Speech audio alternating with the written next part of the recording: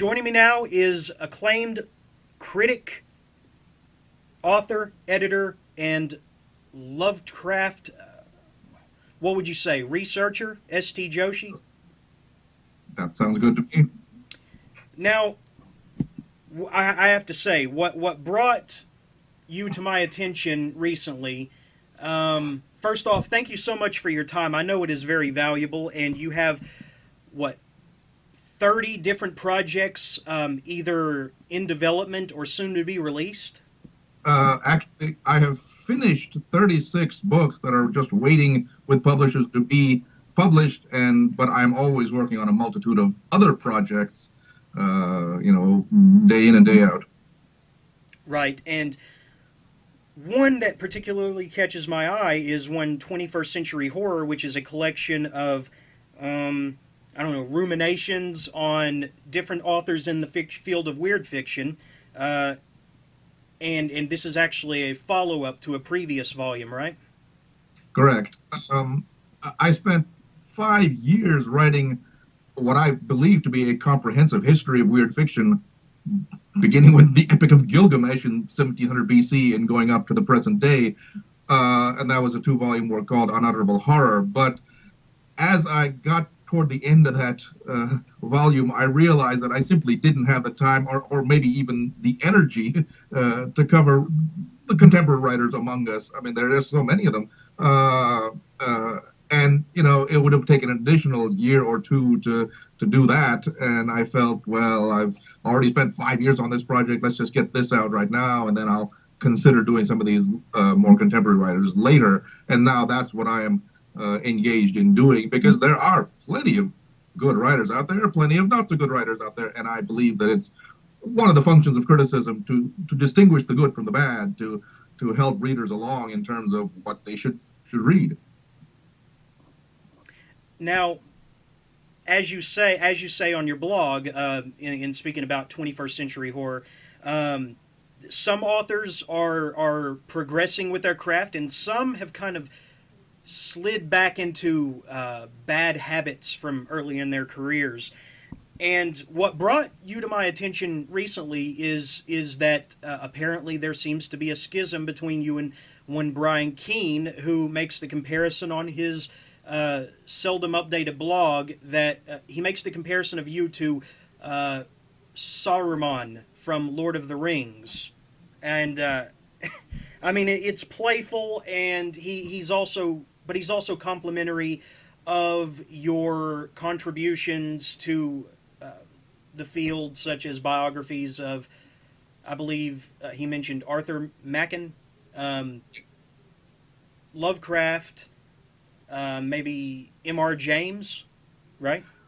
Well, I mean, my focus has been on Lovecraft, uh, but I then, in the course of exploring Lovecraft, I, I covered some of his own predecessors, people like uh, Machen, Dunsany, especially Lord Dunsany, um, uh, M.R. James to some small degree. I, I, edited a couple volumes for Penguin of his stories. Um, uh, a number of other writers, uh, but I take it that Mr. Keene believes that I'm kind of a, an old fogey uh, who is not up to date on, on contemporary horror and does not have any sympathy with contemporary horror, that I'm stuck in the past and, and, and judge everything that is being written now based on the criteria of the past. Well, uh, no offense, but I think that's rubbish. Uh, I wrote a book called The Modern Weird Tale, in which I covered a lot of contemporary writers, at least of that of that era. We're talking about the late 20th century, people like Stephen King and uh, Clive Barker and Ramsey Campbell, especially Ramsey Campbell. Uh, long chapter on him. Uh, Robert Aickman, uh, Dennis Etchison, uh, Thomas Ligotti. I like to think that I am fairly comfortable with the leading lights of contemporary weird fiction, and so I have the the uh, wherewithal to study some of these contemporary writers uh, as I am doing. Excellent. Now, I, I, I'm I'm failing to understand where this came from. Does it does it really all stem from uh, social media whisperers uh, carrying messages back between the two of you? Uh, what what prompted this uh, disagreement. What exactly started this? Do you believe? Well, okay. so I am writing a book on 21st century horror. Uh, and I'm still working on the authors whom I want to cover in this book because there, as I say, there's there are plenty of writers I could cover. Uh, it all depends on the the uh, you know importance or magnitude of their achievement. I was led to cover Brian Keene because hey, I mean this guy is out there. He's published 40 or 50 books, and he, I believe he won a Grand Master Award or something like that from the World Horror Convention. I figure that that was some sort of uh, uh, token of, of some kind of importance. So I said, all right, I feel obliged to look into this Brian Keene fellow, even though I had heard genuine, you know, reports that he was not exactly the uh, uh, God's gift to writing. But uh, so I started reading some of his books. Now, of course, I can't read all 40 or 50 books. That would take a lifetime. But uh, uh, I read four books and found them not only poor pieces of work, but but staggeringly poor pieces of work. I mean, I mean, this is like the worst schlock horror that came out in the you know in the 80s in the wake of, of best-selling writers like Stephen King. There were a whole flood of writers uh, and hacks and, and wannabes who tried to imitate. Uh, you know the best-selling horror style of people like Stephen King or Clive Barker, uh, but they were just you know trying to ride the coattails uh, of those writers and, and trying to catch the wave of, of popularity of weird fiction and Keene seems to think that there's uh, still a market for that kind of thing, and maybe there is. I mean, I suppose people buy his books, but uh, I, I, found them appallingly badly written. I mean, to the point of making horrendous grammatical mistakes that you would think his publishers would have caught, but apparently, uh, I have heard that his publishers do not do copy editing. So, uh, you know, what, you, what, what you get is what what Mr. Keene has written on his computer, apparently. So uh, you know, there's no filter between him and the public, and so all these embarrassing grammatical errors come out. I mean, and that's that's the least of his problems, of course. But uh, um, you know, it, I, I, was I was flabbergasted. I, I, just couldn't believe that this stuff actually got into print. And so I, I wrote an article that was frankly satirical. It was meant to be satirical because I have occasionally cultivated this tone in some of my uh, previous articles and reviews. I uh, I, I wrote recently that certain works and authors are so far beneath contempt that satire is the only recourse. Uh, all you can do is make fun of them. Okay, so you you, you have pointed out uh, several uh, problems with his language and sentence structure, um, and and maybe he confused the possessive your for the other your, right? Simple mistakes that an author of his stature should not make, correct? Uh, correct. And, and on top of that, it would appear that Mr. Keene has in the past uh, loudly claimed that professional authors shouldn't make this kind of mistake, uh, these kinds of mistakes. Uh, and yet, when somebody pointed this out to him, pointed out these previous statements of his, uh, Mr. Keene uh, not only failed to answer, but basically blocked that person from his various uh, uh, Facebook pages or tw- Twitter feeds or whatever. Apparently, Keene does not respond to criticism very well. Well, what you speak of this satire, um, these satirical um, criticisms of of different uh, pieces. I mean, Lovecraft even uh, dallied in that. I mean, he he he dipped his foot into that occasionally, right? To some degree, yes. Uh, although, I mean, he, he, was not really vociferous on that point. Uh, Lovecraft actually, I mean, he didn't write a lot of literary criticism as such anyway. I mean, he, when he was involved in the amateur journalism movement, he, he was a kind of a, uh, you know, professional critic, as it were. But uh, uh, he actually tried to find good things to say about whatever crossed his desk. And that actually is how he developed such a close ties with all these people who, who came in touch with him. So Lovecraft actually was a pretty mild critic, all things considered. Um, my mentors in this rather odd uh, realm of satirical criticism were people like Ambrose Bierce and H.L. Mencken, uh, who, uh, shall we say, did not spare the rod when when they, uh, they wanted to flay something. Okay. Um, how would you say Keene is faring in in terms of the uh, the weird fiction overall? I mean, you is he one of these these authors that that is not worth his salt, or that he there's still room to improve? What? Uh, I I doubt that there's a possibility of improvement on Mr. Keene's part. I mean, he seems to be writing the same sort of thing over and over again, and and not getting any better. Uh, as I say, I have not read his collected oeuvre, but from what I have read, um, I think he's stuck.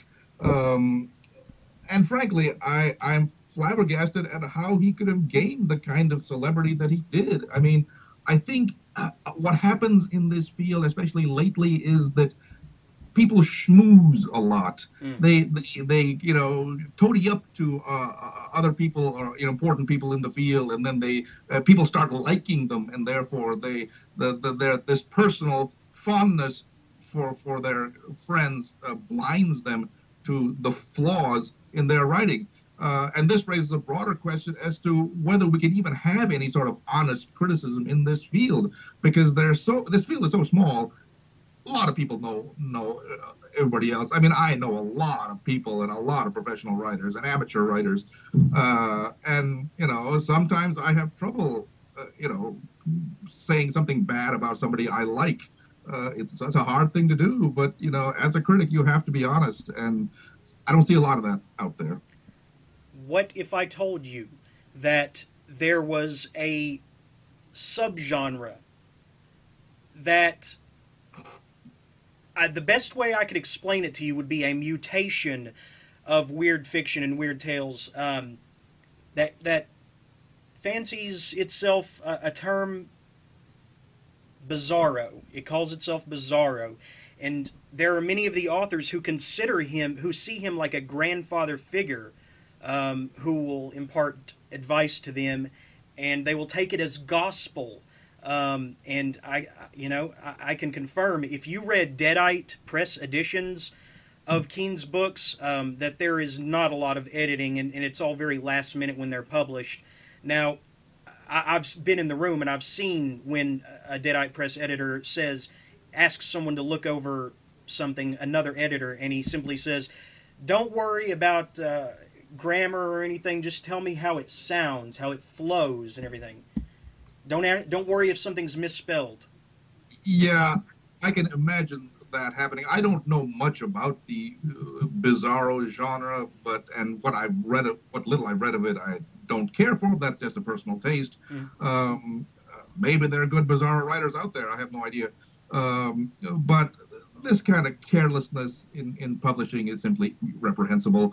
Uh, I mean, our language is suffering badly enough from from uh, you know things like Facebook and Twitter and email even, where practically anything goes nowadays in terms of style and grammar, and that's very bad. Um, the, the language is really in a state of horrible decline, and and somebody has to maintain some standards. Uh, and and admittedly, in our small press field, copy editors do cost money. I mean, you know, I, actually have done professional copy editing for some publishers, and I do a lot of free copy editing, believe it or not, for for authors and and uh, you know individuals, uh, you know, to, to help them a little bit. Uh, but there's no excuse for this, um, and it just contributes to the, to, to the, decline of standards. And you know, I, am getting to the point that I can't even read this stuff anymore. I have, I, I mean, I, I think you know I can hardly read any stuff written after 1960 because it's it's so uh, you know uh, loose and and and slovenly. Well, interesting. Uh, I have to ask this as as kind of a sidebar here because, and and my language is probably pretty harsh to your ears.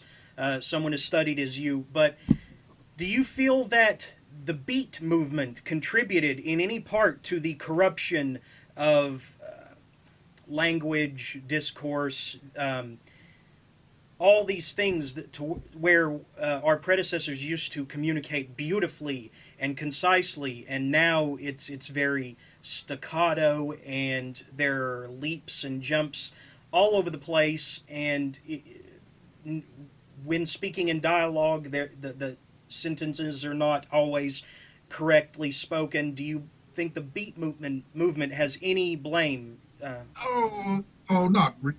Uh, the Beat movement, you know, produced some great writers, uh, Kerouac, Ginsberg. I mean, no denying that these are uh, important writers in the field. Uh, you know, uh, I don't know if you consider William S. Burroughs a beat writer, but certainly he was pretty radical in his use of English. But but he knew what he was doing.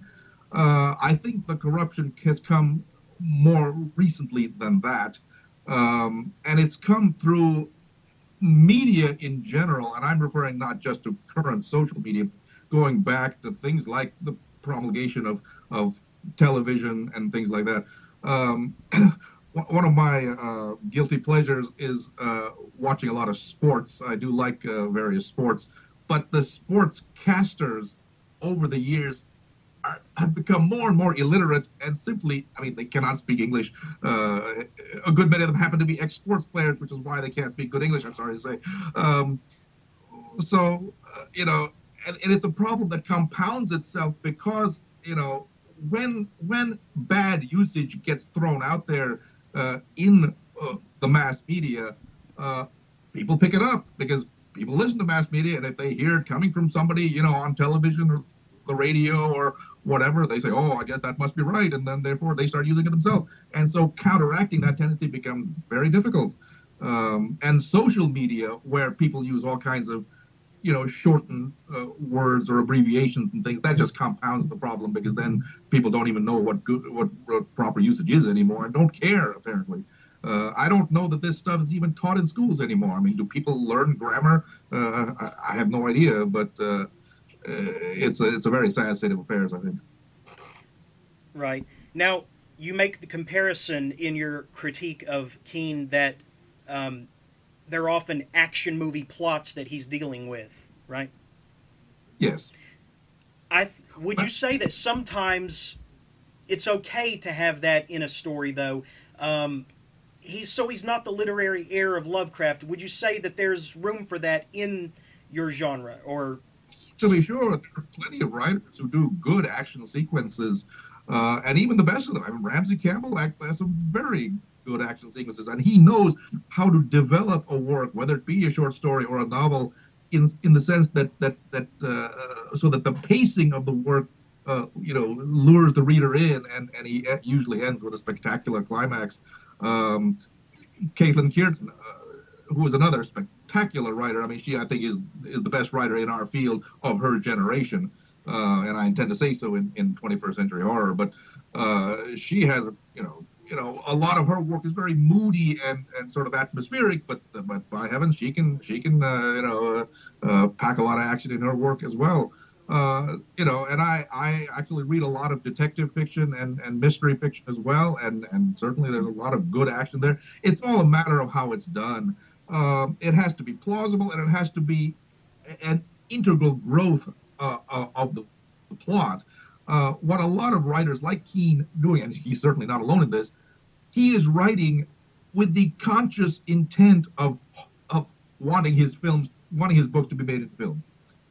this is kind of like the holy grail for, for popular writers. I mean, if, if they can make have a, have a movie made of their film, wow, they're they're in seventh heaven, you know. And and so their works become kind of, uh, you know, uh, in effect screenplays, uh, sort of sort of rudimentary screenplays uh, rather than novels um, and you know, and and the action sequences are all, you know, either taken from movies that they've seen before or are imitations of things they have seen before, uh, with the hope that that some somebody out there will turn their book into a film.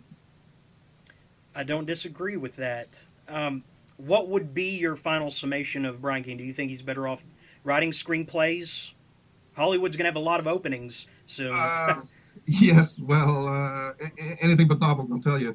Um, I don't know. Uh, I mean, he can write whatever he wants to write. Uh, uh, nobody's obliged to read it. I'm not going to read any more of his stuff. If people want to read it, that's their choice. Uh, but let me just say, there's a lot of better stuff out there to read. Fair enough. Um, I'm actually, I actually consider myself a Keene fan, particularly Earthworm Gods. Um, but you know, uh, different generation, different uh, background. I, I, think it's fair. You're coming from an academic standpoint, and he's a big boy. He can he can take he can handle criticism. Uh, it's not going to affect his his legions of unquestioning, adoring followers. That is for sure. Um, oh, I, I, I don't I don't deny that. Uh, I'm not entirely sure he has legions of followers. I, I don't know how well his books sell, but uh, and if he's a real real hotshot writer, I'm not sure why he's publishing with Deadite Press, but it was a kind of tiny little little micro press as far as I can tell. Um, but hey, you know he's free to do what he wants to, and uh, you know, and maybe he's written better books than the ones I read, but uh, I tend to doubt it. Fair enough. Let's talk about the Lovecraft World Fantasy Award. Uh, that that uh, whole, I don't know what you would call it, um, dust up a few years ago. Uh, was it 2015? Uh, yeah, I think so. I think so. So we're Uh, only but- two years out. Before that, Excuse me. the the you know the the the the the, the, the uh, uh, the movement to get rid of that statue had had emerged before that certainly. Who who did it start with? Was it Ellen Datlow? No, no. So far as I can tell, it was this uh, guy named uh, Daniel Ho- Daniel Jose Older. Who I think he lives in the New York area, um, uh, and is either black or Puerto Rican or something like that. But uh, he got so offended at Lovecraft's racism, uh, and Lovecraft was a racist. I mean, nobody's denying that. That he said, "Oh well, this the statue has to go." And and first of all, he proposed replacing the statue with a statue of get, get Octavia this, Butler. Octavia Butler. Yeah. Now, Octavia Butler, a fine writer, I dare say. I actually haven't read much of her, but A, she's not a weird writer. She's not a horror writer. She's a science fiction writer, as far as I can tell. Um, uh, and it was quite obvious to me and to any sane person that uh, Mr. Older was proposing her merely because she was a black woman writer. Uh, he felt that in the interests of diversity, we should we should uh, you know scrap this old white guy Lovecraft and and replace it with a black woman. Well, So then if it was- if it- kind of Well, I'm sorry to interrupt. I'm sorry to interrupt. I just have to get this in there. If if if if it's solely because she was a black woman, and and I agree that she's a great writer. What what I've read of her, uh, it could have been any black woman, and it wouldn't have mattered. But merit matters in the awarding of an award. Granted, and the thing is, okay, a lot of people don't understand the history of the World Fantasy Award or the World Fantasy Convention. It began in 1975 as a Lovecraft convention. That first convention, held in Providence, Rhode Island, uh, you know, was basically focused around Lovecraft. It was, took place in Brown University, for God's sake, uh, pretty much. And uh, you know, it had people like Robert Bloch and and uh, uh, Frank Belknap Long and Fritz Leiber and Willis Conover and all these other people who knew Lovecraft. And and and that's why Gahan Wilson fashioned that bust, uh, you know, as a as a caricature of Lovecraft. Um, now, of course, the field expanded beyond that, or the, the convention expanded beyond that. But what that award was signaling is Lovecraft's importance to the realm of weird fiction, and people don't understand that even uh, anymore. Uh, and I'd just like to go briefly into that. A lot of people these days think, "Oh, well, uh, Lovecraft's influence is only on those people who write Cthulhu mythos fiction." You know, uh, you know, a lot of these pastiches and things. That's nonsense. Lovecraft's influence is is enormous uh, in the whole history of weird fiction. I mean, I mean, he came at a time in the 20s and 30s uh, when you know leading writers were there, like Machen and Dunsany and Algernon Blackwood and James, and he consolidated uh, uh, the work of those writers, uh, and and you know, uh, when decided the weird fiction had to go in a different direction. He realized that the standard motifs of weird fiction, like the ghost, the vampire, the werewolf, you know, uh, the haunted house, those were all played out. You couldn't take them seriously anymore. So we had to go in a different direction, and he went into that direction by creating this thing that he called the Cthulhu mythos. Actually, he didn't call it that, but no matter. Uh, this pseudo mythology that that he uh, devised, uh, in which uh, you know vast monsters from outer space come to the Earth, and uh, et cetera, et cetera.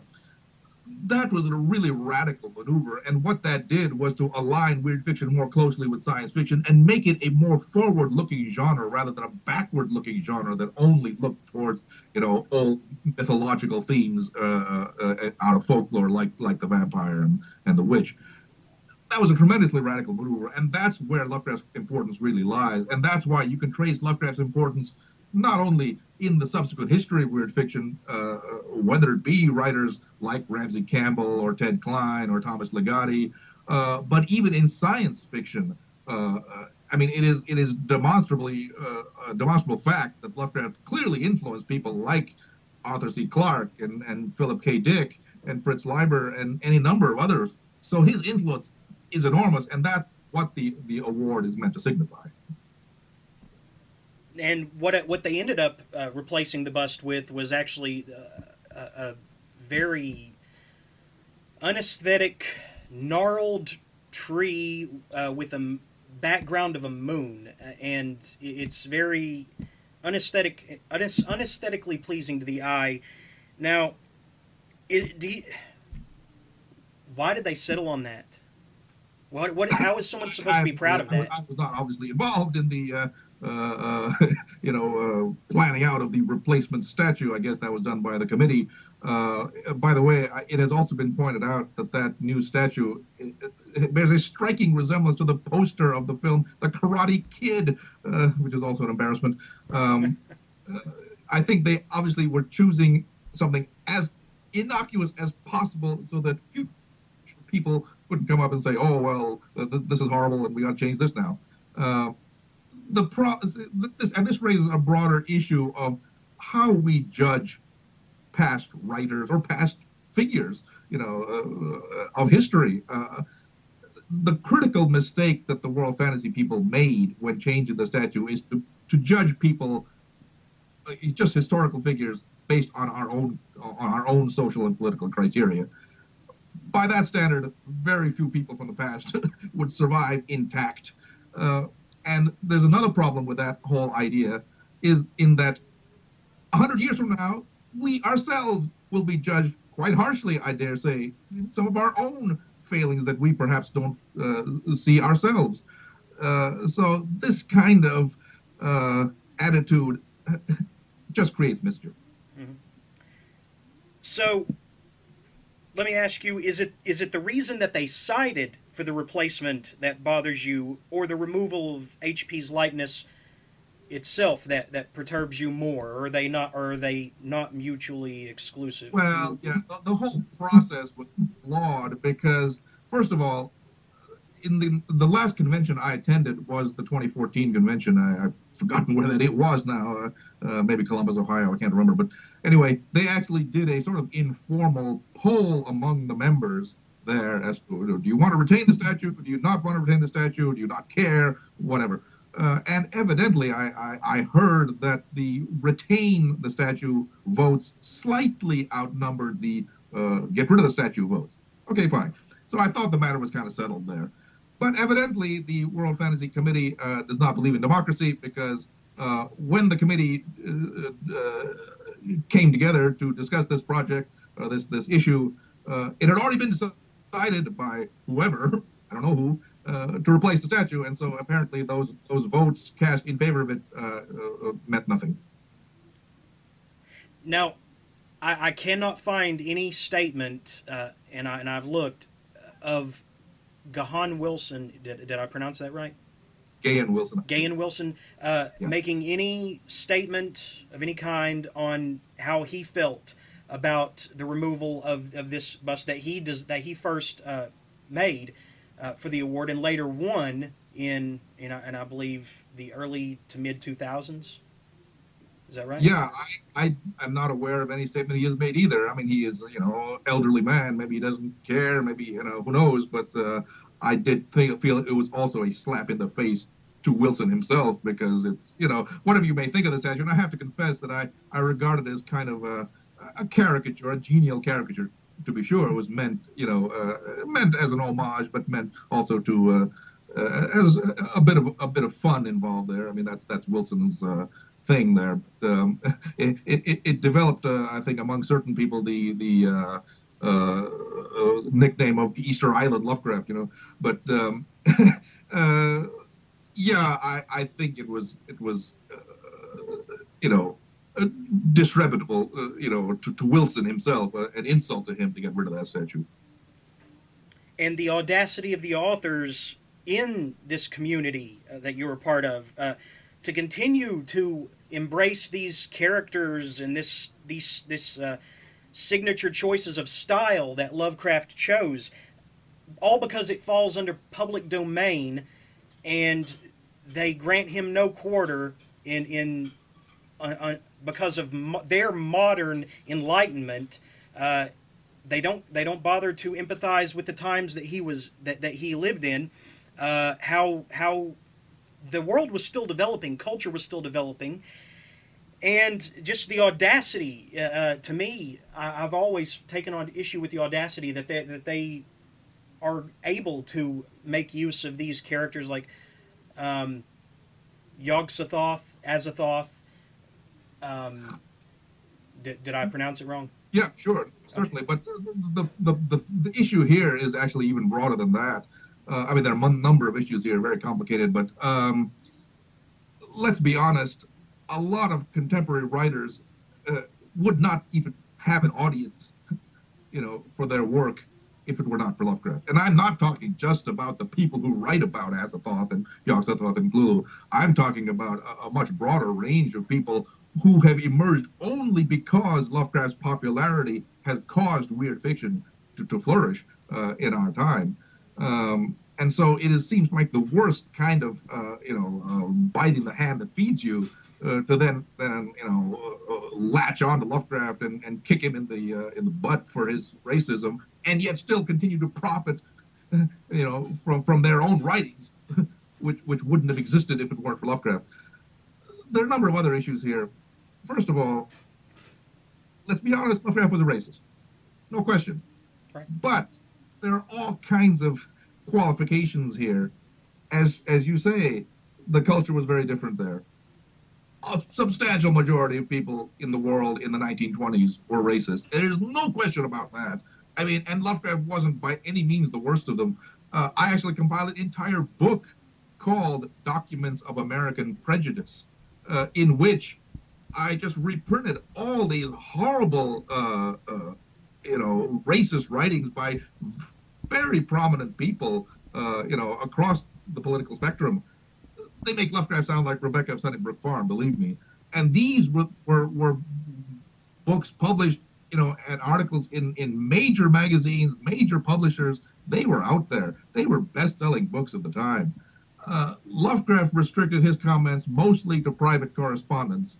Uh, and I'll tell you what, uh, I mean, it's only because Lovecraft got so famous that all his correspondence is now being published. I mean, if any of us got to that point where we're so famous that all our correspondence got published someday, well, I think a lot of us would be pretty embarrassed at some of the stuff that we've we've talked about. But but no matter.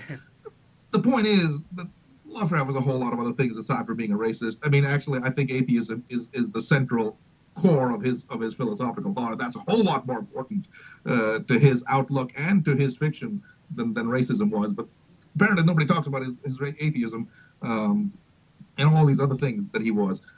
That's one thing. The other thing was that some of the very writers that these uh, contemporary people who slam Lovecraft like a whole lot were also racist. Like the prime example is Jack London. Great writer, no question about it. But he had a he was furiously anti-Asian. He wrote a book called The Yellow Peril. Uh, I mean, I mean, you can't get much worse than that. Mm-hmm. I mean, hmm. this this book was, was was out there, you know, distributed far more than anything Lovecraft ever wrote. Um, that said, London himself can't be judged purely as a racist, and I'm not advocating that that he not be read anymore, or that, that people jump on him, or or that nobody read him. You know, it's like there's a certain lack of nuance here, a, a certain lack of historical understanding, a certain inability to grasp the totality of, of, a, of an individual rather than just focusing on one specific uh, aspect of their of their thought. And so that has to be you know when that when it's when it when that when people do that it has to be political. It has to there has to be an agenda involved there. Uh, and that's what offends me the most. Now truly it must have been the correspondence that tipped people off. Can we really ever make an inference from fiction not nonfiction but fiction that an author is racist if if if we take away all of his correspondence with Robert E Howard and uh, Frank Belknap Long, August Derleth, mm, I guess maybe. Um, Actually, doesn't. Yeah, oh, I, I see what you mean. Yeah, if that correspondence didn't exist, would we know Lovecraft was a racist? Well, I think we would.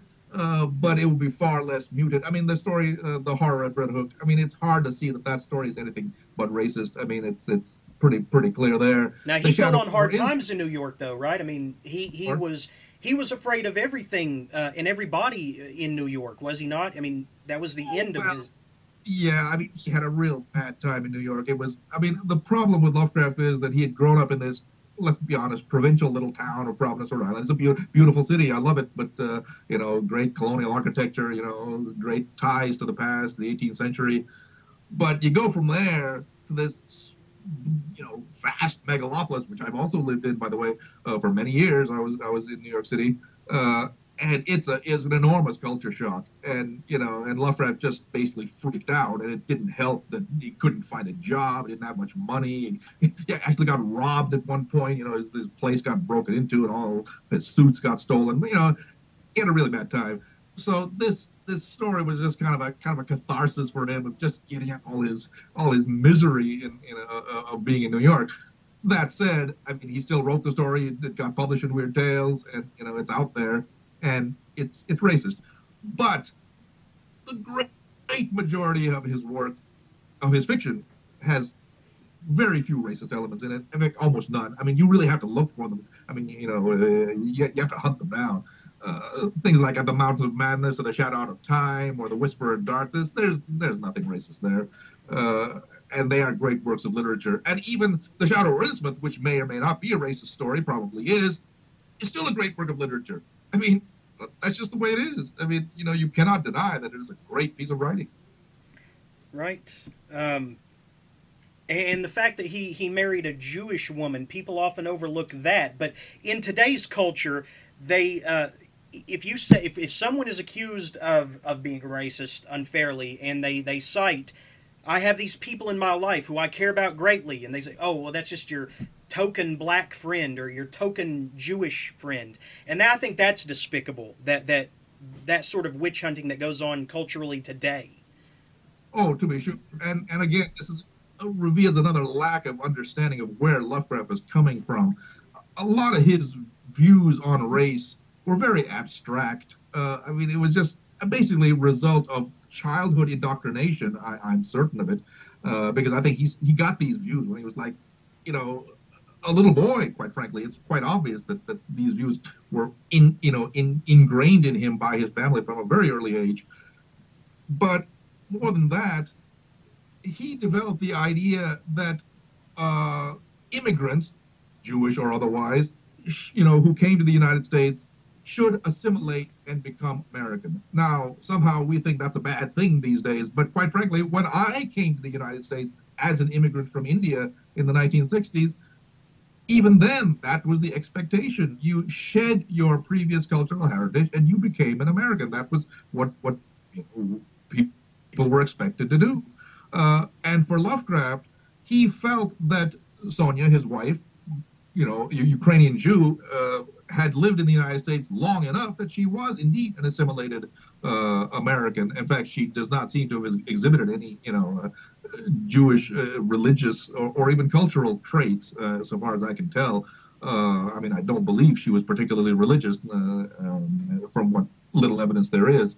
And so she was acceptable to him, as were other Jews like Samuel Loveman or Robert Bloch or whoever that he that he came in touch with because you know they had they had adopted uh, you know American or Western values, and, and, that's fine. And that's you know again a lot of people uh, ex- accepted those uh, that that criterion. Mm-hmm. Now I'm very interested to talk about some of your detractors and and by proxy they are also Lovecraft detractors. I mean you've spent a great deal of your career. Um, tracing this man's footsteps, and rightfully so.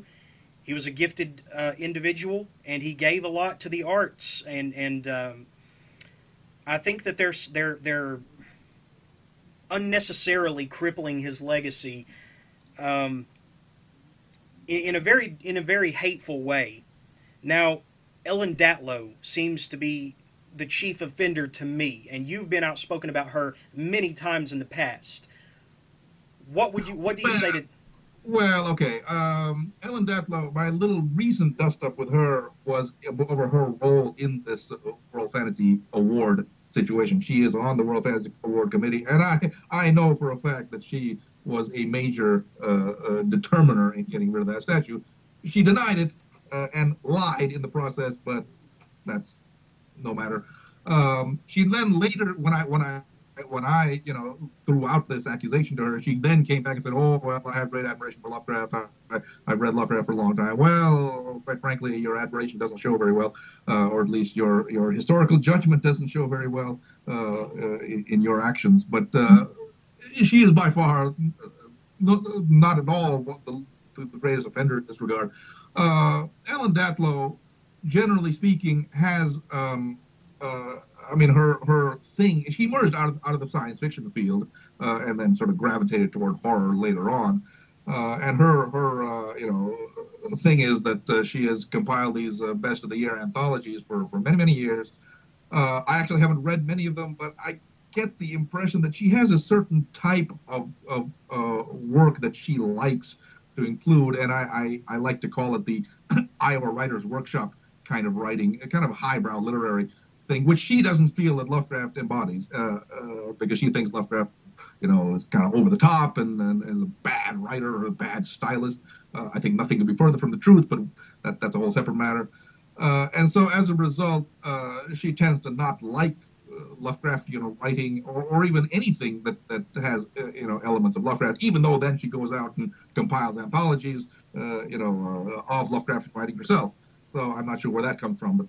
Um, she is, believe me, not not the worst offender in this regard. Who would you say is? Oh, I don't know if I want to mm. really name names, but uh, what, see, what, this whole thing developed as a result of this whole uh, uh, uh Daniel Jose Older uh, uh, kerfuffle. Once he uh, started his campaign against the award, other people jumped on the bandwagon, apparently in part to prove their, uh, you know, uh, bona fides as true liberals, and I say that as a liberal myself. I, I, mean, I, I, haven't voted for a Republican since 1982, so uh, I mean, I, I am un- unimpeachably liberal in my in my political views. But uh, these people feel they had to uh, uh say, okay, I am I am opposed to racism, and therefore I will uh, kick Lovecraft and and uh, you know and do whatever to tarnish his legacy because he was a bad person. Well, okay. Uh, if you think that, fine. Um, what gets me is that uh, these people are also uh, riled up about racism, that they don't do anything about racism in our own time. Uh, I mean, we are we are living in an age of, of, of, of, renewed racism right now, and they don't seem to be doing anything about it uh, because that's hard. it's much easier to kick some dead man who's you know can't can't answer back, but you know so that's all they do uh, Ross Lockhart, would you say that his uh, press word horde has been successful uh, with its its um, beginning beginning anthology, The Children of Old Leech? Uh, I haven't read that book uh, and don't have much inclination to do so, but uh, the book is a tribute to Laird Barron, who actually was once a fine writer, but I think has declined a bit. Um, uh, I think he tends to be writing the same thing over and over again, and uh, uh, that's unfortunate. I think he's you know sort of resting on his laurels, as it were. I think he needs to get back to the kind of stuff he wrote early on in his career, which was outstanding. I thought, but uh, let's talk uh, about Laird because yeah, I, I, I was blown away by the Imago sequence and and also occultation and I get to Swift to Chase, I believe was the name of it. Yes. And the stories kind of leave me in this murky, middle of the road limbo um, where I'm not sure what to make of the stories. I think the one story I appreciated was one that he had spoiled to me in an interview uh, years previous about the cyborg dog, for lack of a better. Yeah, I remember. I actually enjoyed I, that one. I think that was one of the better stories in the book. I think there is, there are some good stories in there, but what I think what Laird has started to do is write basically the same story over and over again. He has developed a certain kind of you know, stylistic mannerism that has become a shtick, uh, and it, every story sounds the same, and that's that's very bad. Uh, I maintain that he basically started believing his own press. For some reason, Laird Barron became the center of this uh, kind of kind of uh, uh, you know uh, clique of, of people who surrounded him and praised him to the skies. and now he apparently believed that he was the great writer, and therefore, you know, can just write whatever he wants to, and you know, everybody will lap it up. Well, I think you have to work a little harder than that. Uh, and he's apparently on the verge of publishing a novel, and I hope the novel is good. I mean, I, uh, I mean, he, he has the rudiments to be not only just a good but a great writer. But um, I just hope he can reverse this this this tendency he's fallen into. I think the the story that did it for me with Barron uh, early on, at least, was Procession of the Black Sloth. I mean, his mastery of um, dialogue, description. I mean, it just it, it was all there in, in, in that first collection. And uh, I, I, also think that maybe he has listened to his cheerleaders too much but I think that uh, he has a, a, rich legacy ahead of him. It's it's not that it's not wh- how well they mimic Lovecraft. It's it, it should be about how how they advance their own uh, footing in in this genre, right? Oh, granted, uh, uh, Laird Barron is by no means any sort of imitator. I mean, he, I, I actually think that the best story he has written, and I hope I can say this without immodesty, is the one that I commissioned him to write. That is uh, the Broadsword, uh, which was published in the first Black Wings anthology. That's in Occultation. I still think that's maybe the best thing he's ever written, uh, and I was I was blown away by that story and just was tickled pink to get it from him. Um, no, but but and and that you know even that story was was written for a Lovecraftian anthology is by no means any kind of you know uh, straightforward pastiche. It it uses Lovecraft as a springboard for expression of Laird's own ideas and and and, and understanding of the world, and that's exactly what a writer should do. Um, you know, and so so he, certainly has the the ability to, to get back on track. I just hope that he, he you know he, he does that.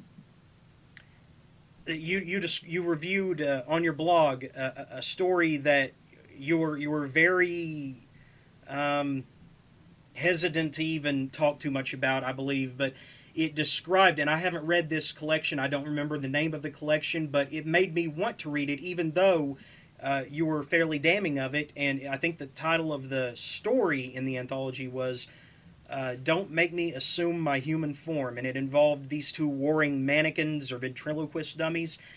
May, I can understand why he wouldn't include that in in one of his own collections. It was probably commissioned by a Bizarro um, editor, if I'm guessing, um, or somebody. Actually, I think that appeared in the Ross Lockhart anthology, Cthulhu Fhtagn. I, okay. I think so, but I can't remember now. Actually, I, I have to confess, I, I, thought that was a pretty bad story. Uh, it was just unbelievable. It was just incredible. I mean, you couldn't you couldn't believe the, the incidents there was just so over the top in terms of the uh, the, the kind of incidents it was relating that it was just uh, no reader could suspend disbelief. But hey, that's just my, my take on it. Maybe maybe other people will like it. Who knows? What what if uh, we were to read that a story like that under the pretense of surrealism? Would it then be justified that basically anything goes in surrealism, or am I reading surrealism wrong? I suppose. I mean, you could you could say that, but uh, you know, I I don't know. Uh, um, I just think I personally have, like to have stories that have a little firmer grasp of, of reality. Uh, that's, that's, that's just my take. Mm. Okay.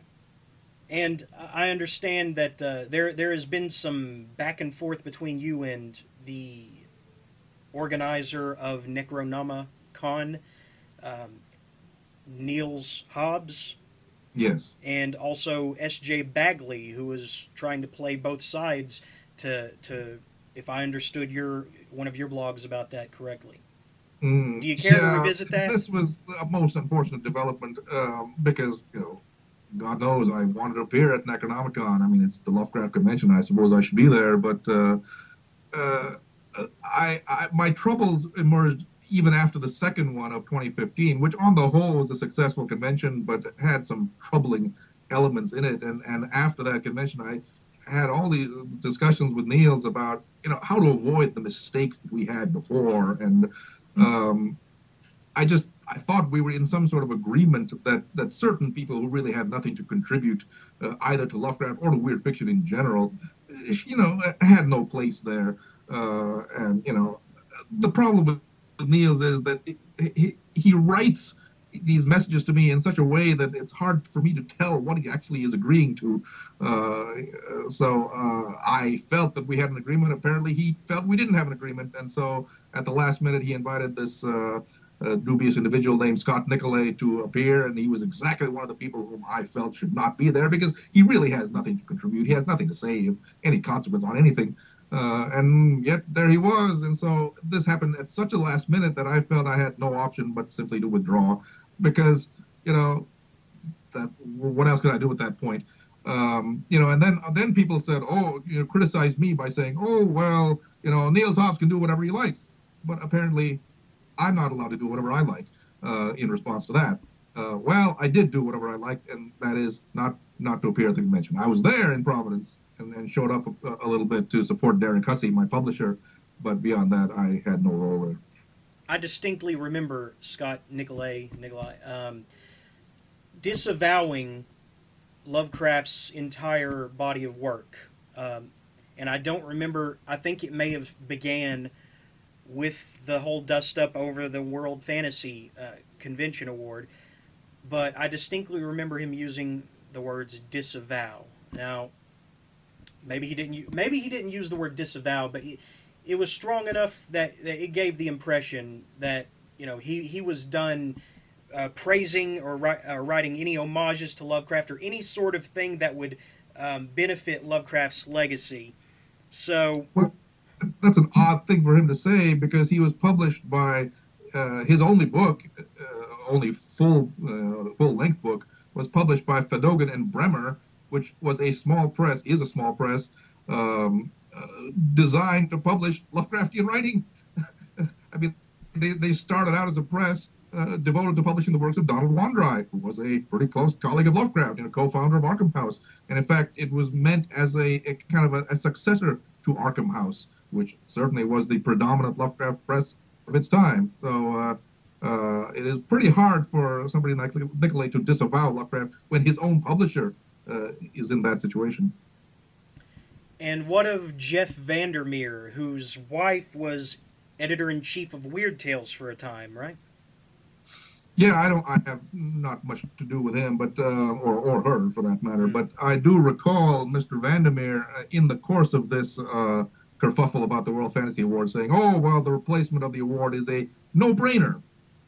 Well, that would seem to imply that anybody who didn't want the award to be replaced was some sort of idiot or scoundrel or whatever. And I pointed this out in a blog, and he got all, you know, uh, hot and bothered and said, "Oh, I don't want to have anything to do with you again." I said, "Well, fine, you are free to do what you like." Um, I just felt that he was kind of oversimplifying the situation. It is an immensely complicated uh, uh, matter, uh, and uh, the word "no-brainer" does not seem to define define the uh, situation adequately.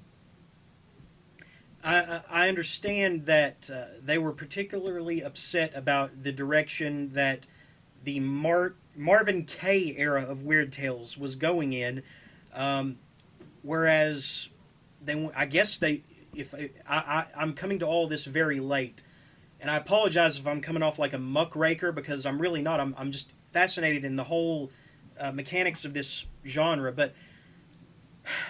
It, I understand that they wanted to get back to a place where maybe Weird Tales is about Weird Tales, not about pointing out racists that have that have long since been deceased.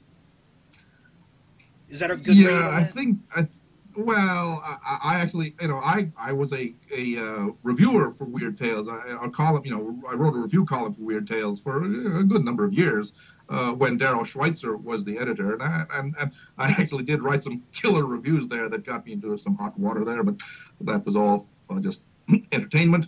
But um, uh, I frankly don't know that Weird Tales has had a has a viable history, you know, uh, shot anymore because.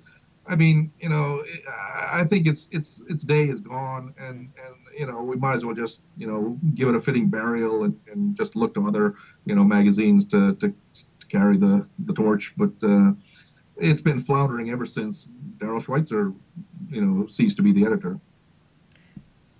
Do people still read magazines in the vein of Amazing Stories, Astounding Stories, uh, Weird Tales? Do people? Do you think there's an audience there still? Well, in the weird fiction field, there just there aren't that many magazines out there that, that really can you know you know uh, attract wide attention. I mean, uh, um, I, I, since I'm not a fiction writer, I don't go out there and I don't even know the markets very well anymore. But uh, I'll tell you what, Hippocampus Press thought of starting a, a an annual magazine of weird fiction, and you know I collected some interesting material, but the publisher said, you know, the material we have just doesn't. He just didn't didn't think it could it, it could succeed, you know, financially. I mean, uh, you know there's a lot of money up front that you have to pay out and you know to contributors and you know it's not not clear that you'll ever get it back so uh, it's it's hard i mean you know because you know with websites and things and you know and self-publishing i mean the, the stuff is all out there and it's it's uh, keeping a magazine going is a very very difficult thing to do um, I am lucky in that Hippocampus Press uh, allows me to edit a magazine of weird poetry called Spectral Realms, and that's doing actually pretty well. Even though again our our our sales haven't been all that robust, but the poets love it. I mean, there's a lot of great weird poetry out there, and uh, and apparently the publisher is willing to publish it even at a slight loss just to keep it going. So, uh, um, but but running a magazine is a very difficult thing to do. I've seen several presses close recently. Um, saying that it's it's time to move on because they're, we're in the middle of a uh, marketing downturn. Would you agree that uh, there is no literary, literary success to be had in the middle of a market downturn? Is there a marketing downturn right now? Mm, if we're talking specifically in weird fiction, I actually don't think so. I think, I mean, uh, believe me, there's a lot of good weird fiction out there, a lot of good writers. It's just, you know, trying to find them and sort through them and you know figuring out who's who's good and who's not so good. Um, I think uh, you know people have been saying, especially that the, that the future of print publishing is is, is you know is, is doomed, and uh, I'm not so sure about that. I mean, uh, uh, the number of people reading you know ebooks is actually either plateaued or actually maybe even going down, and print is actually still holding its own. Uh, Hippocampus Press does mainly print books. I mean, we do ebooks uh, at a later stage. We don't do them immediately, I don't believe, anyway. Uh, we do both hardcovers and paperbacks. And, you know, I'm not saying that uh, the publisher's uh, raking in a fortune, but we, we get, get do well enough to get by. And, you know, uh, I work with other publishers like Centipede Press and PS Publishing in, in England and Dark Regions Press. They all seem to be, you know, doing well enough to, to keep going. PS Publishing is the one that's releasing an anthology next year that includes Axolotl House by Cody Goodfellow, correct? Yes, that's an anthology called Apostles of the Weird. And Cody Goodfellow is an incredible author, uh, a real wordsmith. I mean, oh, Cody is an outstanding writer. I mean, and talk about writing action scenes. He can write some incredible action scenes. I, have read a lot of good stuff of his that really keeps you at the edge of your chair, and yet it is written with this incredible verve and panache. I mean, his his style. You you, you read Cody just for his style, uh, if if for nothing else, and yet there's plenty of else uh, uh, uh good to read in, in his work also. So he is he is outstanding. I imagine you're not much of a fan of subgenres such as splatterpunk. Um, just a shot in the dark there, right? uh, I, uh, in my book, The Modern Weird Tale, I actually had a chapter on, on splatterpunk.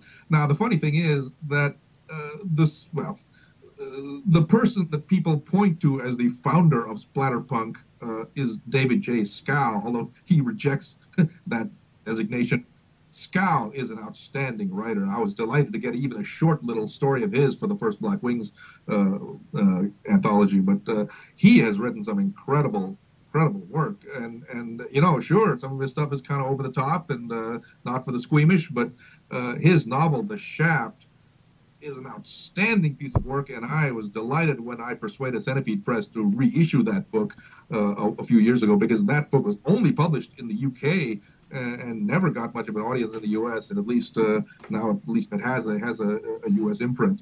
Uh, but aside from that, I, I, don't think splatterpunk amounts to much, and I, am not even sure people are really writing splatterpunk anymore. Now, I guess they call it extreme horror nowadays.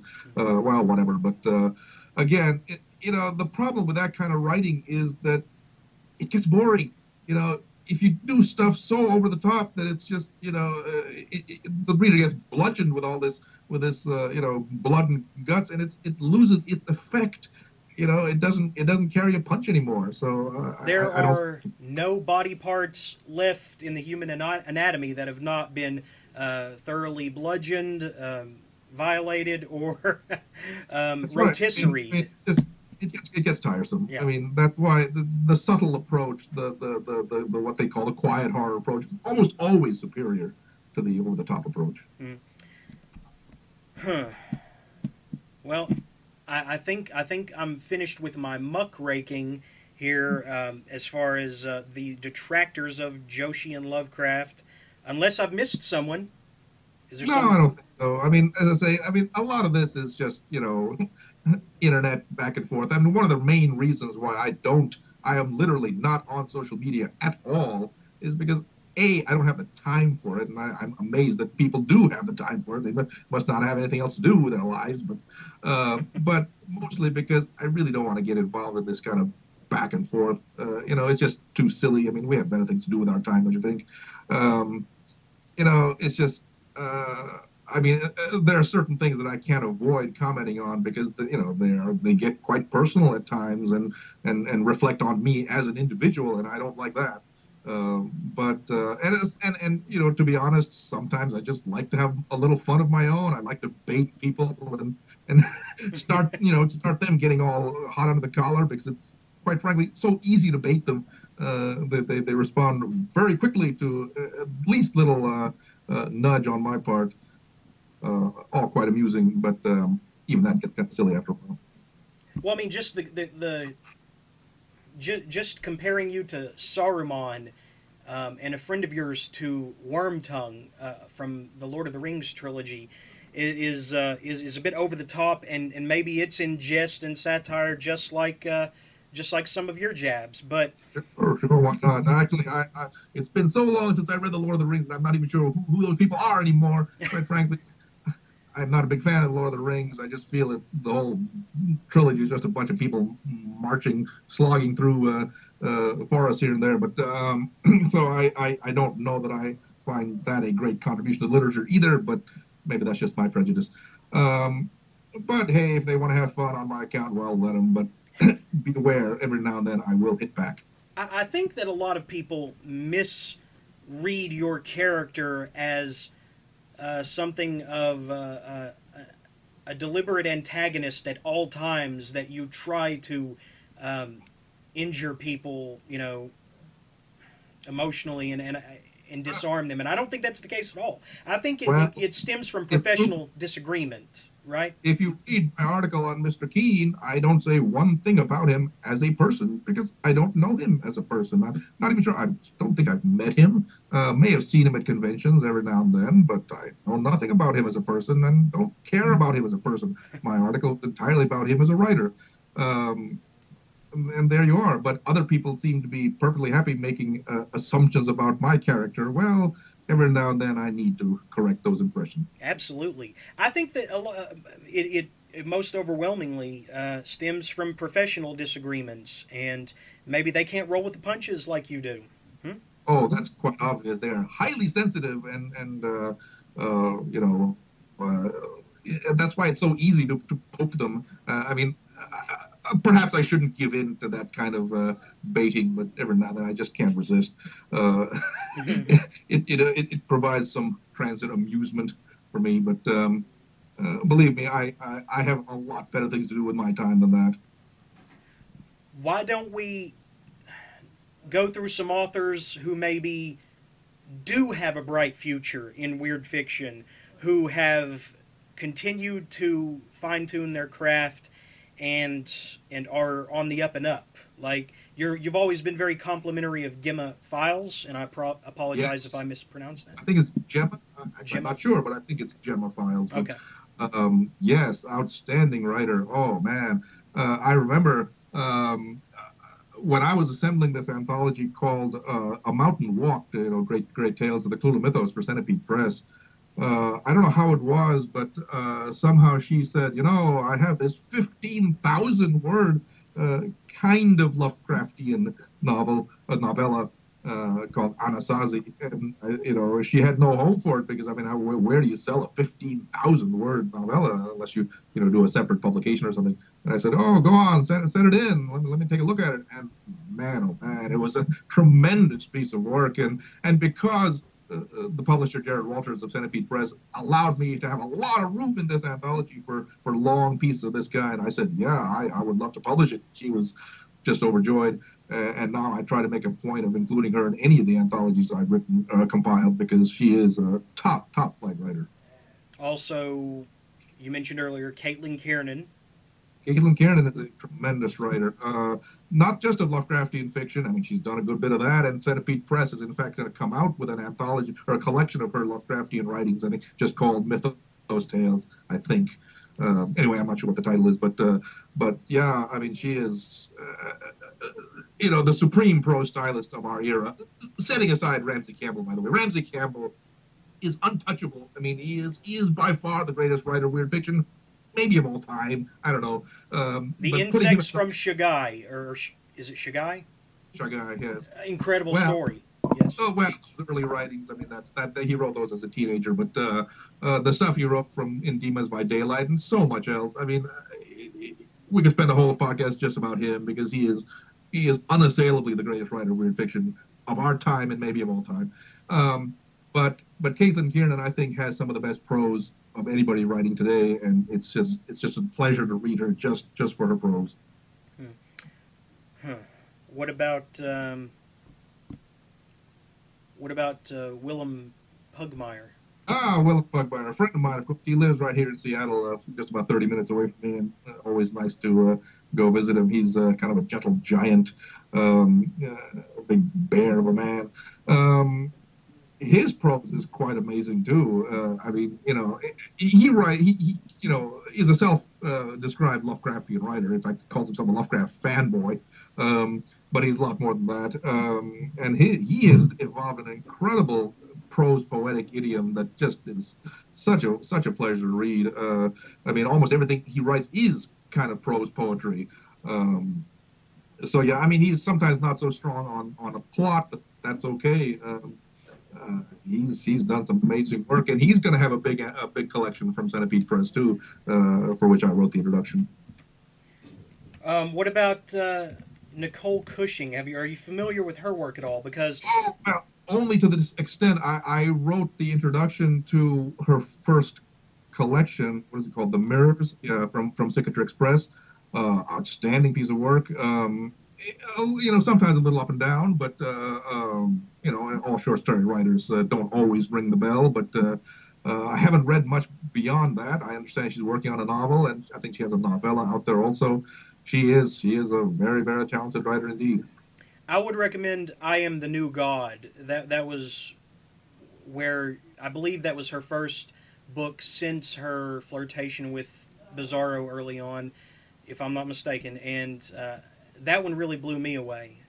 Hmm. I know she's written two or three since then, but the publisher of "I Am the New God" is since closed, and I don't remember if it's Dark Currents or Dark Wire Press. Hmm.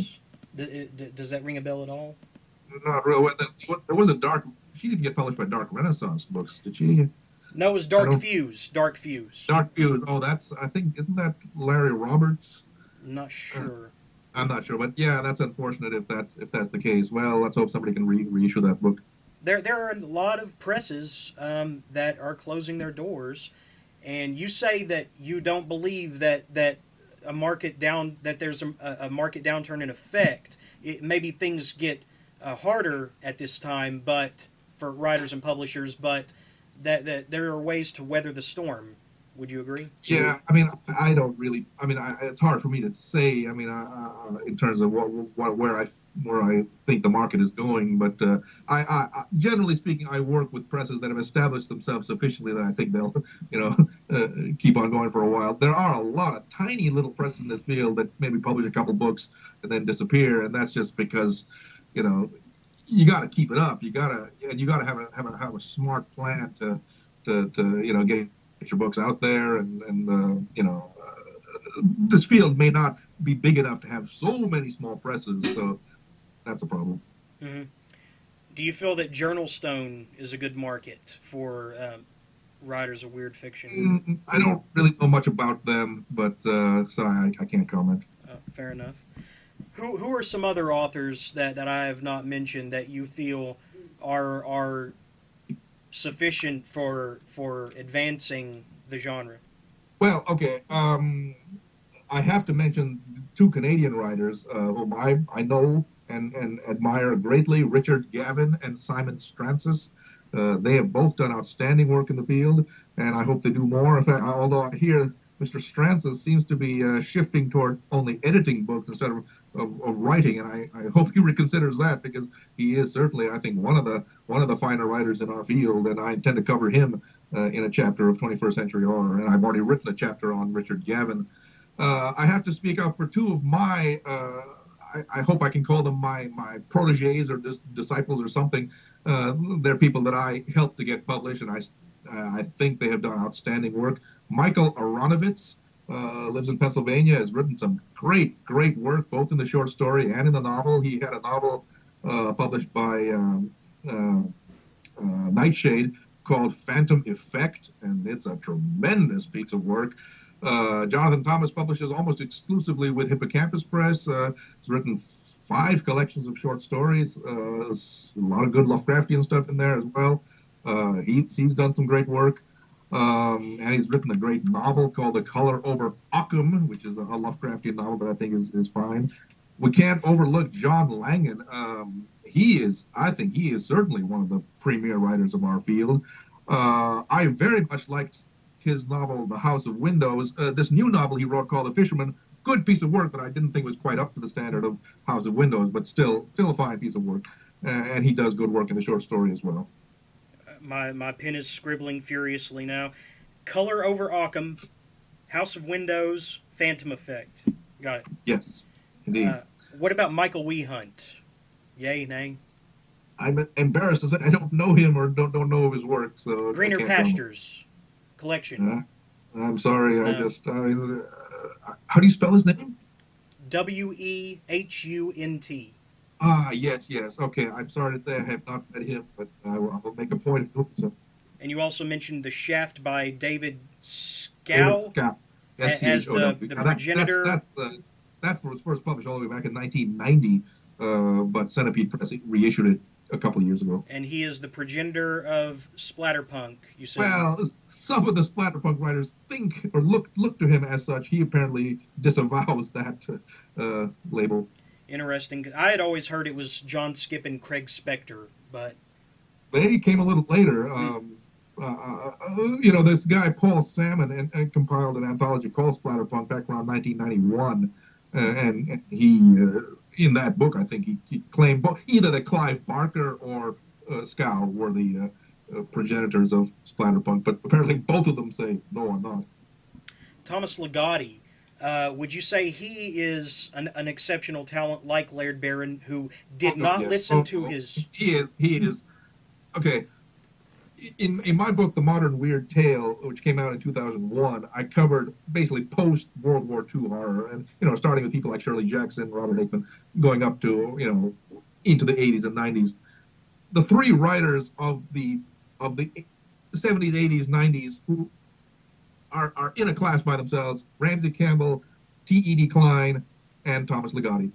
Now, unfortunately, Ligotti has, has had some health difficulties, which we don't want to go into, uh, that basically prevented him from writing, uh, you know, very much after about the year 2000. Uh, the last major book he came out with was was called uh, "My Work Is Not Yet Done" in 2002, which had some outstanding material in it. But then, then his health health problems came up, and he, he's published very little since then. Uh, lately, he did publish two short stories. I frankly didn't think they were all that good, but anything of his is better than 90% of uh, stuff by anybody else. Uh, and I just hope he can resume his productivity someday. He is someone who has perhaps not uh, listened to his cheerleaders in the same way that you, you say Barron has, correct? That's correct. I mean, you know, a lot of people have praised him and justifiably praised him, but uh, you know, he says, uh, well, I don't know. I, I, know him slightly, so I, I, don't want to put words in his mouth, but I think he uh, you know, he is devoted to his craft and it's always wants to get better. And, you know, health permitting, I, I hope, you know, he can do, do good, better work in the future. Mm-hmm. Uh, did, did, did, uh, we miss anybody else you might have wanted to bring up? Oh, just so many others. I'm looking at my list here of the people I tend to cover in in my book. Um, Reggie Oliver, a British writer, does very good work. I've not read a whole lot of him, but I think he's someone that uh, needs to be paid attention to.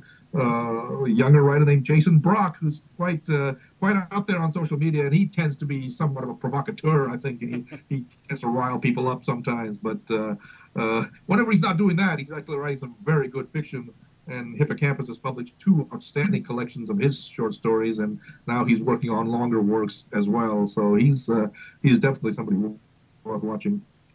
So you would recommend basically anything from Hippocampus Press or Centipede Press or PS Publishing, right?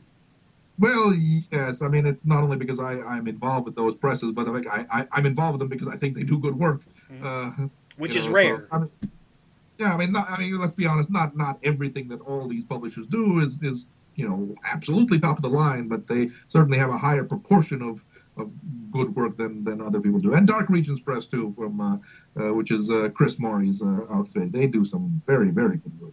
Mm-hmm. Okay. Are, are you? Uh, I'm sure you're familiar with William Hope Hodgson. Oh God, yes. House on the Borderland is probably the finest weird tale I have ever read, and I've forgotten so many from where I've been out of the loop the last few years. But House on the Borderland always stuck with me, just for the. I mean, you you had the the book as an artifact at the beginning, which is in the sense that these these two fishermen discover this old uh, moldy uh, rain drenched journal and it tells the tale of this guy who lived with his sister in this estate in this manor with subterranean tunnels underneath with these pig people. I mean, why am I telling you? I'm sure you're more familiar with it than me. But uh, and and the things that he does at the conclusion of that tale that have to do with time and mm. the manipulation of time is is just incredible. Uh, I think the sun supernovas. Not, I mean, I'm not really spoiling anything. Anybody can read these, and they probably already have. But I, I think the sun's supernovas, and uh, he ages. The whole world ages in seconds, but it's actually lifetimes, millennia in a few seconds, right? Oh, it's a tremendous piece of work. I mean, the, the intensity of that book. I mean, you know, it's very hard, and Thomas Ligotti is going on on this subject too. Very hard to maintain the emotion of fear in a novel. I mean, it just is. I mean, because fear is such an intense emotion that it's hard to keep it up, you know, for long periods of time. It's very emotionally draining uh, to do that. That's why horror, generally speaking, works better in the short story or maybe the novella uh, form. But here's here's a and, and House on the Borderland is not a long novel. It's you know it's a fairly short novel, but nevertheless, he keeps up that intensity of fear from beginning to end in a, in a way that you know maybe Lovecraft matches that in At the Mountains of Madness, but I can't think of very many examples of that. Right, and the Willows. Um, I don't remember if the the menace ever actually, uh, if they ever actually come face to face with it in the in the uh, body of the story. I think their bodies are found later, or they disappear altogether. But you don't have to actually have a description of the thing or force of nature that is stalking those two um, men in the Willows by Algernon Blackwood because it, it, it's the atmosphere of the story. I mean, the the force of this force of evil, evil is felt throughout the story in such a way that it's its own character, right? Yeah, you know, Lovecraft, The Willows was the greatest weird tale ever written, and I think he might be right. Um, and yet Blackwood wrote a lot of other good stuff that was, you know, almost as good. Uh, there's a great collection called Incredible Adventures that has four or five novellas like The Willows. I think they're all, again, so intense. I mean, they just suck you in, and you know, uh, just by by you know, I don't know how because Blackwood wasn't the greatest prose stylist in the world. He was not exactly a, a prose poet. Uh, his style is sometimes a little mundane, but uh, uh, he understood what I've called the psychology of fear about as well as anybody since Poe. And and uh, he has the ability to just draw you in and, and keep you sort of hypnotized as to uh, you know in the course of a novella. Hmm. Where do you see where do you see uh, weird fiction being in twenty years, and what do you feel your legacy will be? Aside from Lovecraft, I mean, you. Well, I, I uh, there's no way to predict what, what Weird Fiction is going to going to do in, in uh, you know whenever. But uh, I have genuinely believed that we are in a kind of silver age of weird fiction. The golden age of weird fiction, let's be honest, was end of the 19th century, into the 20th century, with people like Machen, Dunsany, Blackwood, Lovecraft, M.R. James, uh, Walter de la Mare, uh, L.P. Hartley. I mean, there were so many really, really fine writers since World War II, we've had some outstanding people. I've mentioned Shirley Jackson, Robert Aickman, Ramsey Campbell, Ted Klein, uh, Ligotti, and I think we can add Caitlin Kiernan and a few others to this list. Um, uh, you know, so uh, you know those writers, and or at least some of them, uh, are going to continue to do good work, and uh, you know, uh, just take it from there. In terms of me, I hope that. Um, I do hope that people see me as something more than just a Lovecraft guy. Uh, I mean, I've written the entire history of weird fiction, uh, and and now writing a, a little follow up to that, and I've I've edited a lot of other writers of weird fiction, you know, both past and and present. Um, and so I, what I have tried to do throughout my career is to establish uh, weird fiction as a legitimate form of literature. Because when I first started, you know, and I started as a teenager, you know, in the 1970s, it was quite obvious to me that the standard, you know, literary uh, culture felt that horror fiction, supernatural fiction, was kind of a kind of a uh, you know uh, poor relation to literature. It was even subliterary, and it frankly didn't help that that schlock writers like you know uh, a lot of those writers from the 1970s, uh, you know, who just churned this stuff out in, in the wake of people like King and Straub and Barker, uh, you know, kind of kind of devaluated the field and and uh, you know made it seem as if it was all just schlock horror.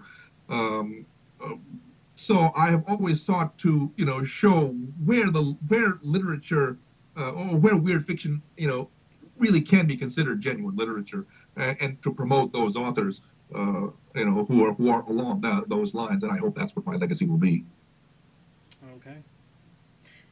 You you have taken a hit uh, in terms of criticism because apparently you were not academic enough for some stodgy elitist um, writers, and uh, you know, we're, like I said, we're done with the muckraking, but I just want to uh, point out that all the authors who formed this great literature that we've spoken about, they didn't necessarily all come from um, decorated academic backgrounds.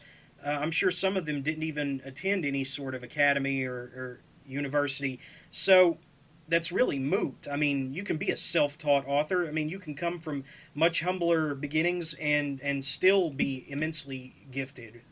Well, let's not forget that uh, Mr. Lovecraft did not finish high school. You know, it's incredible. Uh, he was one of the greatest self-taught people I've ever encountered.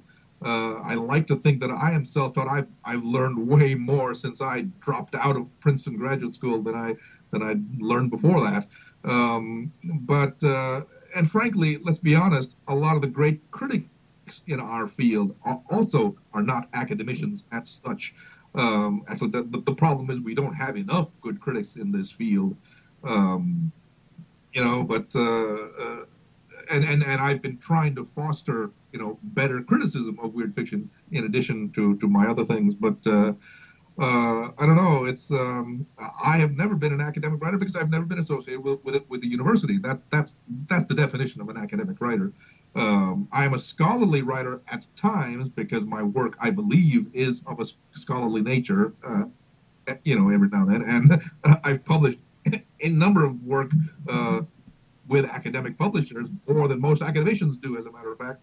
Uh, but you know, I have always set out to write criticism that is accessible to the average intelligent person. I do not want to restrict my writing just to uh, other academicians or, or, to some sort of highbrow, uh, you know, literary set.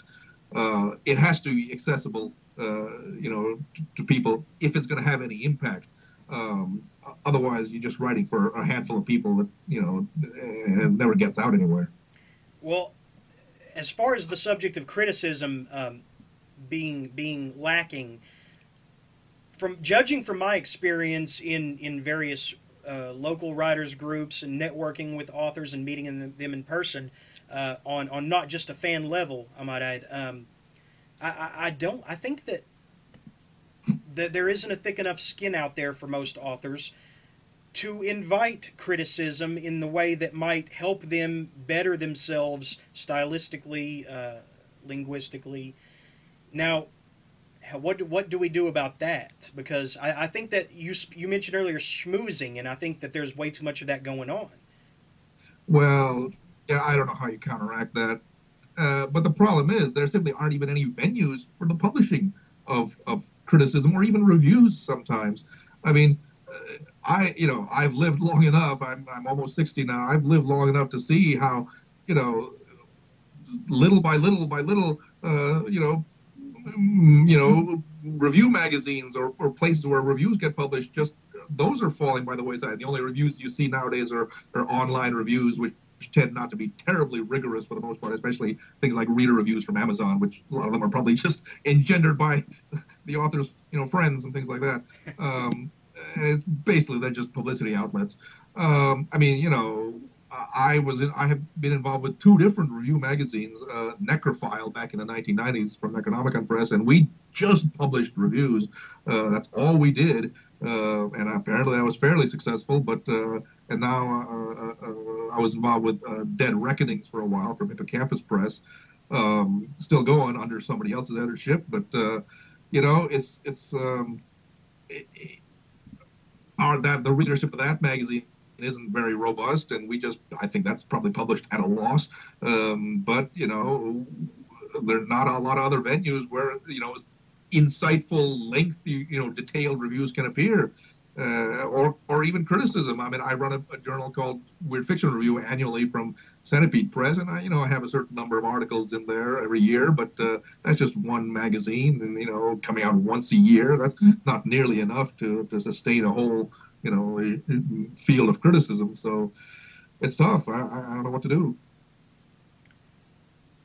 Do you do you feel a kinship with Lovecraft as, as much time as you have you've spent you've labored over uh, just following in his footsteps, you know, tracing his work, uh, his background, where he lived, and everything. I mean, do you do you feel like you you know him as as if he were a friend? I can oh, tell you care. I mean, I, you know, my major task over the last five, six, seven years has been to edit all his remaining letters, and, and you know, we're, we're going to be coming out with any number of editions of letters over the next couple of years, and those are so so revealing. I mean, of the kind of person he was, and you know, I'll tell you, they're they're, they're just amazing documents. Uh, but the thing is, I try to follow in Lovecraft's footsteps in the sense of I mean, he he was incredibly generous, not with money because he didn't have much money, but generous with his time, with his expertise, with his advice to fellow writers, and I think that's why he became such a beloved individual. And people like, you know, to people like Robert Bloch and Fritz Leiber and Derleth and Wandrei and all these people who who sought out his advice and and got really good advice for him on in the craft of writing. I tried to do something similar uh, when you know I'm I'm open to, to, to novice writers who want me to read you know work of theirs, and I try to criticize it honestly and say, okay, this is good, this part maybe not so good, and here's how you can get better. Uh, because I feel that that kind of personal contact is just really about the only way that you know. Uh, how else are you going to get get any better? Uh, I mean, you know, uh, you just you just you know, I, I feel that that's an important thing for me to do, and I I'm lucky enough to have attracted you know some writers, as I mentioned before, like Michael Aronovitz and Jonathan Thomas, who have gone on you know through my help or to to become really good writers and who don't need my help anymore now. Um, and I hope to continue that work in the future. Yeah, I have an extensive reading list here, thanks to uh, all those you mentioned. um, before we wrap this up, I understand that you do have a novel or novella coming out uh, this year or next, probably next now. Yeah, next fall, I believe, PS Publishing will come out with a novel of mine called Something from Below, uh, I, I, don't really like that title, but I couldn't think of a better one. It's, it's actually uh, an adaptation of uh, a story by Donald, or the title is an adaptation of a story by Donald Wandrei that he that he called something from above. Um, it, believe it or not, it's a story set in the coal mining country of like northeast Pennsylvania of all places. Uh, I don't know how I was inspired to write that. I don't write a lot of fiction. I've, I've, written a story, you know, every now and then. I don't. I don't think I'm a particularly good fiction writer. Nobody's going to remember me for my fiction. But this work seemed to come together better than other things of mine.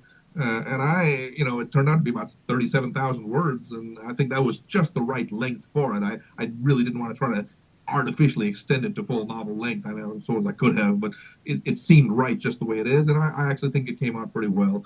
Uh, and and Mr. Wilum Pugmire was kind enough to think think highly of it, so that's that's something. But uh, we'll see what we'll see what people say. Um, yeah, PS Publishing will come out with it in, in the fall of 2018, uh, which follows, by the way, the publication of my memoirs called "What Is Anything" that Hippocampus will publish in the summer of 2018 when I turn 60, uh, and that'll be, I hope, a fairly lively piece of writing. Excellent. It, it's it's so inspiring to see that you've kept up such a um, vigorous schedule and. Uh, I want to thank you for keeping Lovecraft's memory um, not sainted because he doesn't deserve that, but you have done your very best to preserve the memory of what he accomplished and what he did for other authors um, in, in I mean just just the notoriety of his work um, has enshrined other authors and maybe my wording's poor on that, but I thank you for giving me your time as well. And do you have any closing thoughts before we uh, conclude? Mm, not covered a gamut here, and I'm you know I'm grateful to you for allowing me this this forum because uh, you know I mean it's maybe I've not said anything that I've already not said uh, out there before, but uh, you know a lot of these things do bear repeating, and I you know believe me I if you meet me in person I'm actually a very nice guy I like to think. Um, I adopt a certain um, barbed persona every now and then in some of my writing, but that's just for fun. Uh, I think I'm a nice guy. I hope my wife will agree to that. Um, uh, so uh, it's just, uh, you know, I, am just carrying on doing what I want to do in life. And doing a fine job of it. Thank you so much, Mr. Joshi. You're all fucking autistic.